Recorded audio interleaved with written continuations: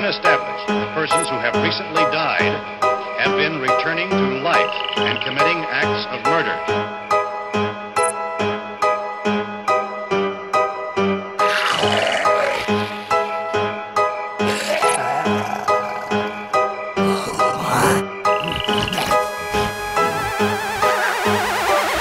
You call this a zombie apocalypse?